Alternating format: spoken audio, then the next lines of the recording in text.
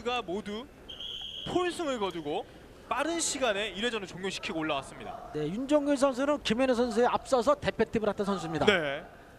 최고의 빅매치라고 할 수 있는 양팀 선수 대 김현우. 선수 대한민국 레슬링을 다시 한번 부활시킨 장본인입니다. 그렇죠. 런던에서 금메달을 획득을 하면서 1회전 경기 시작됐습니다. 김현우가 아래 홈코너 그리고 윤정규 선수가 첫 코너입니다. 시작과 동시에 김현우가 위쪽에서 포지션을 잡고 있습니다. 앞으로 한번 끌어줘야죠. 중심을 한번 흔들어줘야 됩니다. 그렇습니다. 자 윤종규나 김현우 양 선수 모두 1회전에서 폴승을 거두면서 체력적으로는 분명히 이점이 있습니다. 저렇게 앞에 목을 잡히고 나면은 네. 호흡이 차요. 상대방이 얼굴 보십시오. 얼굴에 뻘게 오르지 않습니까? 네. 지금 김현우 선수가 이 본인 특유의 스텝으로 완벽하게 자세를 낮추면서 포지션을 잡고 있는데요. 윤종규도 크게 밀리지 않습니다. 김현우와 윤종규 김현우 선수는 여기서 아, passive를 하나 따라야죠.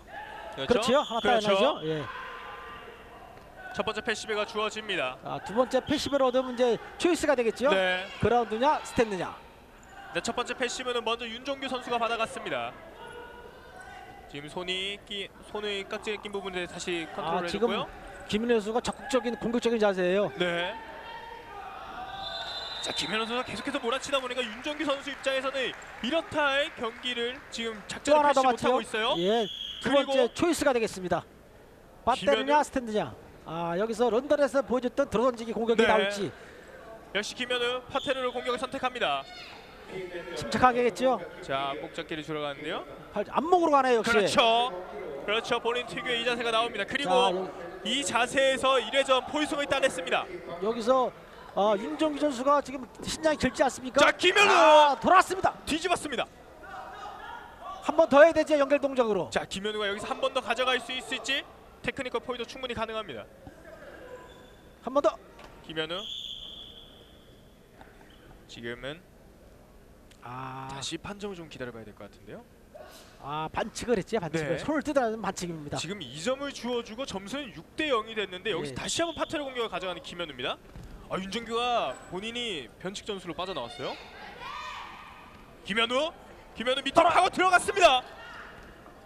다시 한번 뒤쪽에서 technical 폴승 나왔습니다. 2점을 얻으면서 점수는 8대 0. technical 폴승 김현우.